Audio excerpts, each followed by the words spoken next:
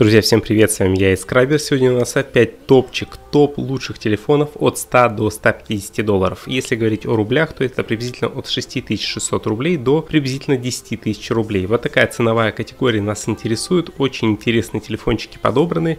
Давайте начинать. Десятое место Meizu M8C, э, преемник предыдущего Meizu M5C. Здесь э, диагональ дисплея 545, HD качество, 295 ppi, соотношение пикселей на дюйм, процессор здесь э, Snapdragon 425, версия начинается от 2.16, Фантуту приблизительно убивает около 32 тысяч баллов. Камера на 13 мегапикселей, апертура f2.2, фронталочка на 8 мегапикселей, светосила f2.0. Батарея на 3070 мАч час. Новая модель была представлена в России в начале лета 2018 года и является преемником бюджетного аппарата предыдущего поколения M5C. И прогресс у этого телефона, конечно же, очевиден. Здесь уже установлен процессор Qualcomm, а не Mediatek.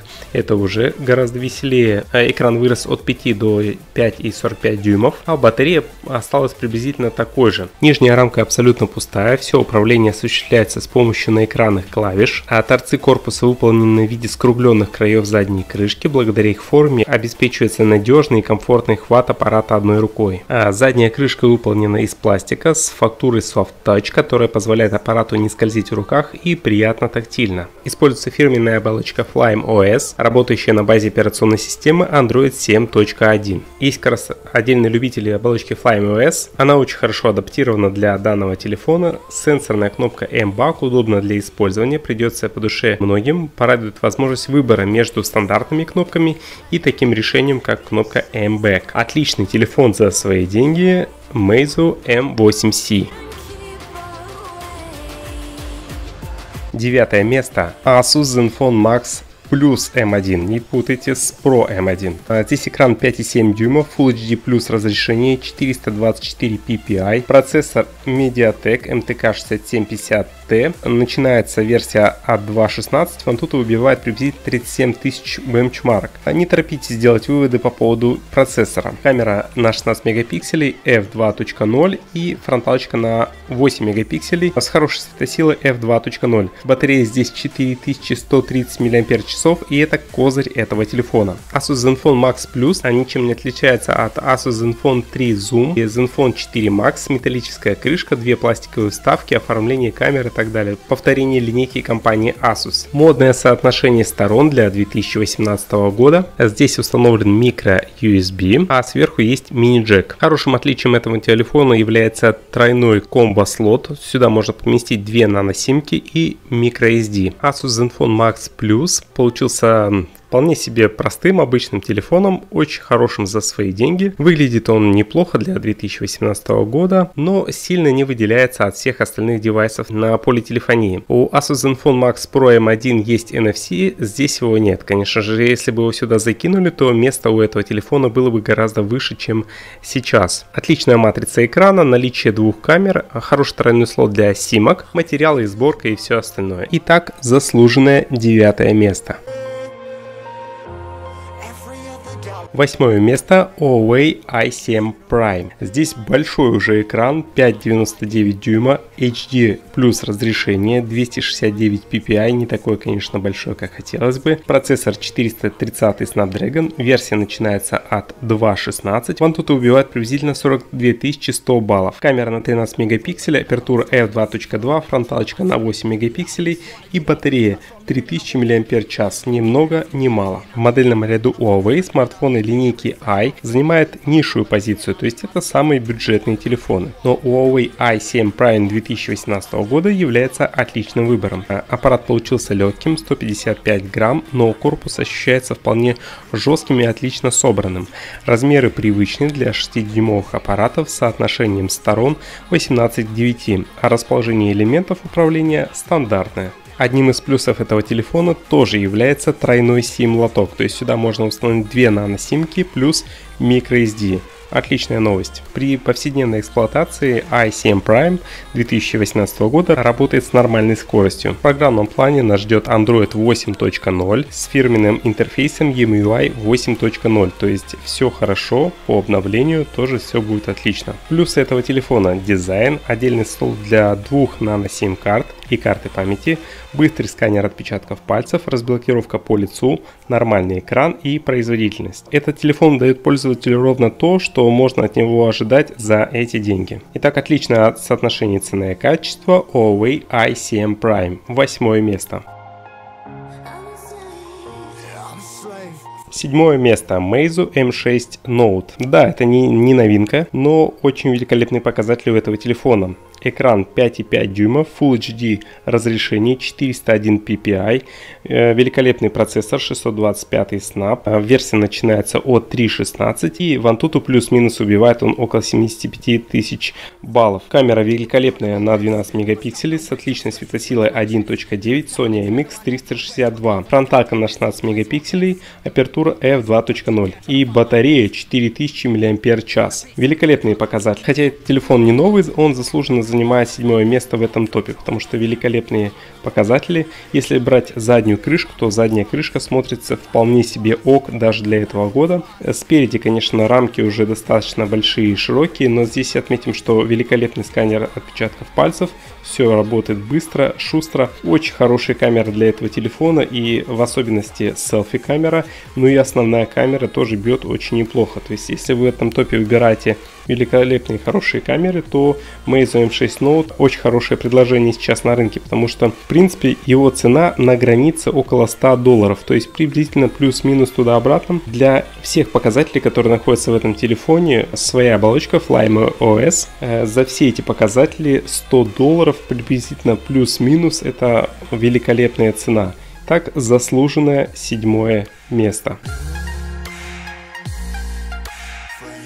Далее Honor 7C Pro. Экран большой, 5,99 дюймов, в HD плюс разрешение 269 ppi, не так много. Камень здесь новый, 450 Snap, отличный. А версия начинается от 3.32, в Antutu выбивает приблизительно около 60 тысяч баллов. Камера на 13 мегапикселей f2.2, фронталочка на 8 мегапикселей f2.0, батарея на 3000 мАч час. А много доступных смартфонов компании Huawei и Honor используют один и тот же чипсет Kirin 659 или же другие Kirin. Конечно, этот процессор порядком уже устарел и есть счастливые исключения, когда компания Honor использует процессоры Snapdragon. Итак, здесь Snapdragon 450. Очень выгодное предложение, потому что на Tmall этот телефон можно найти менее чем за 10 тысяч рублей. А, а учитывая, что это великолепный бренд, очень красивый телефон с современным соотношением сторон и великолепным железом, это отличное предложение на рынке. У модели Honor 7C Pro металлический корпус бывает черным, синим и золотистым.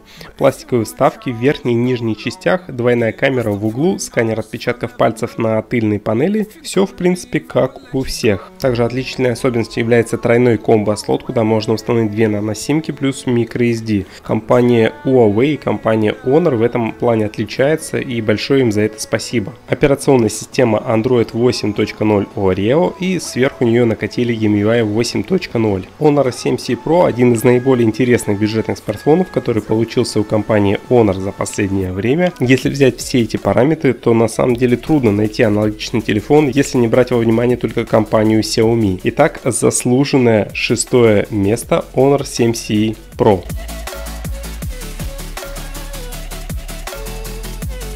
Пятое место Mia 2 Lite. Экран здесь 5,84 дюйма, Full HD разрешение, 432 ppi, великолепный экран на 625 Snapdragon, проверенном, долговечном и очень хорошем. Версия начинается от 3.32, в Antutu плюс-минус убивает около 76 тысяч бенчмарок. Камера на 12 мегапикселей, апертура f2.2 и фронталочка на 5 мегапикселей. Батарея, друзья, 4000 мАч. Спасибо вам большое компании Xiaomi. Конечно, отличительной особенностью Mi A2 Lite является голый Android. Этот телефон входит в программу Android One. И этим он отличается больше всего от всех остальных. Mi A2 Lite является упрощенной версией обычного Mi A2, а аппаратная это копия Redmi 6 Pro. А с какой скоростью Xiaomi штампует новые модели телефонов, конечно, пугает. Есть риск запутаться вообще во всем этом разнообразии. Если вы запутались, то есть на канале обзор всех телефонов компании Xiaomi, а мы продолжаем. Линейка под названием A у компании Xiaomi очень простая. Здесь несколько телефонов и все они входят в программу Android One и работает на голом чистом Android. Mi A2 Lite как раз является таким телефоном. Можно сделать вывод, что смартфон создан для тех, кто не любит оболочки разных производителей, а хочет себе добротное устройство на чистом голом андроиде, но не готов платить большие деньги. И как раз Xiaomi Mi A2 Lite является таким телефоном, а для чистого голого андроида он стоит очень дешево, поэтому занимает достойное пятое место в нашем топе.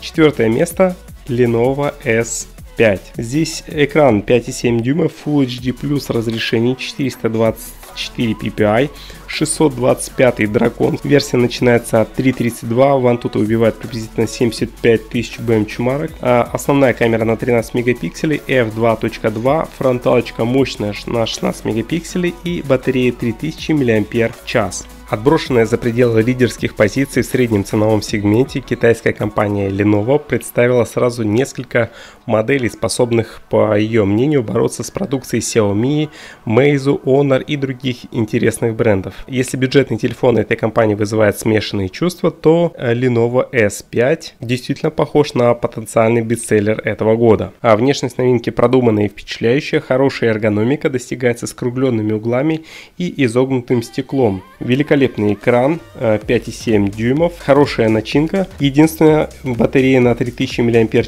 Если бы здесь было на 4000 мАч, то это действительно был бы бестселлер этого года от компании Lenovo. А так очень хороший, приятный телефон с хорошими техническими данными. А почему он на четвертом месте? Потому что хотелось ставить ни Xiaomi, ни Honor. Хотелось найти какую-то интересную альтернативу э, в этом топе, поэтому Lenovo S5 заслуженное четвертое место.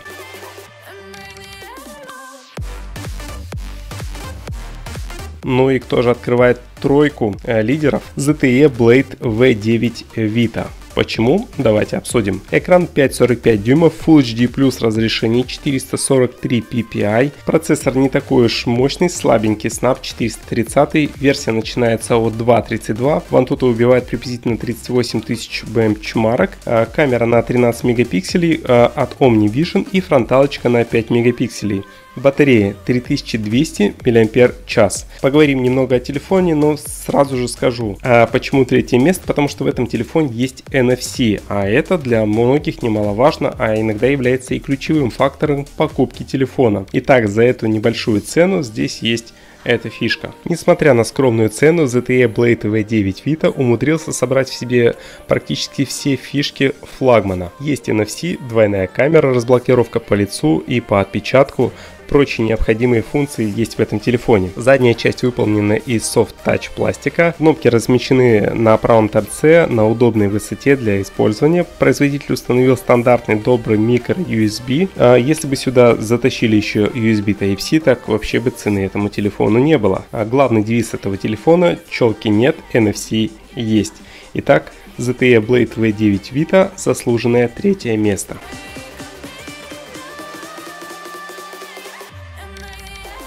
Второе место Honor 7C. Экран здесь 5,7 дюймов, в HD плюс разрешение 282 ppi, а, процессор слабенький 430 Snap, версия начинается от 3.32, Вантута убивает приблизительно плюс-минус 38 тысяч бенчмарок, основная камера на 13 мегапикселей, апертура f2.2 и фронталка на 8 мегапикселей. Батарея тоже ни много ни мало 3000 мАч. Почему же Honor 7C стоит на втором высоком месте? Да, здесь тоже есть есть NFC, и это фишка этого телефона. Почему-то в Pro версию NFC не установили, 7C есть NFC, и это отлично. Вот такие вот великолепные стихи от Эд Скрайбера. А смартфоны серии C от Honor всегда были отличным предложением по цене и качеству, и новинка Honor 7C не стала исключением. Это доступный, приятный и функциональный бюджетник с вменяемым качеством снимков на выходе. А еще одним из плюсов этого телефона является комбо-лоток тройной.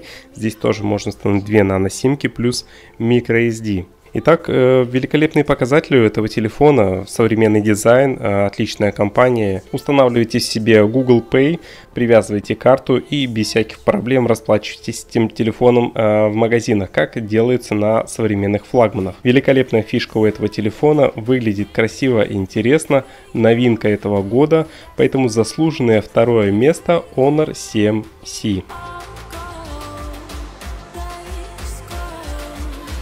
Друзья, кто же на первом месте? Компания Xiaomi. Да, вот как-то так банально. Я сюда поставил Redmi 5 и Redmi 5 Plus. Давайте пробежимся по техническим характеристикам этих телефонов. И первые цифры будут у Redmi 5, а вторые у Redmi 5 Plus. Итак, экран 5,7 дюйма в HD плюс разрешении 282 ppi плюс версии 5.99, Full HD плюс разрешение 409 ppi. Конечно же экран на Redmi 5 Plus гораздо лучше, тут хлебом не корми. По процессорам, в первом случае 450 Snap, версия начинается от 2.16, тут выбивает приблизительно 8000 баллов. Во втором случае 625 Snap, версия начинается 3.32 и Vantutu убивает приблизительно 76 тысяч бенчмарок. По камерам 12 мегапикселей апертура f2.2 от компании OmniVision, фронталочка на 5 мегапикселей. Батарея на 3300 мАч у Redmi 5, а у Redmi 5 Plus батарея на 4000 мАч. По мне так не процессор, а именно батарея является плюсом для э, Redmi 5 Plus. Потому что 450 Snap не такой уж и слабый по сравнению с 625. Тем более видеоускоритель у этих двух телефонов одинаковый, то есть по видеографике они справляются почти почти что ровно. Конечно же, с небольшим преимуществом у Redmi 5 Plus. Почему эти телефоны стоят на первом месте? Мне кажется, в ценовой категории э, от 100 до 150 долларов это великолепное предложение. Э, во-первых, это бестселлер, их постоянно покупают. На вторичном рынке эти телефоны тоже считаются э, на очень хорошем положении. Вы можете его продать и купить себе что-то новое, обновиться и так далее. Но также есть здесь фирменная оболочка MIUI, которая постоянно обновляется. Эти телефоны тоже на компании Xiaomi не забыла про эти телефоны, они постоянно обновляются, и это, конечно же, большой плюс. Ну и в целом по корпусу это современный дизайн, это великолепные камеры, очень хорошо оптимизированные и хорошо настроенные, ну и проверенные аппараты. У тебя есть, конечно же, свое мнение в отношении этого топа, пиши об этом в своих комментариях, пиши, в принципе, любой комментарий, он подойдет. А с вами был я, Эд Скрайбер, подписывайтесь на этот канал, э, жмите лайк этому видео, делайте репост этого видео. А, всем большое спасибо, всем пока-пока и до следующих топов.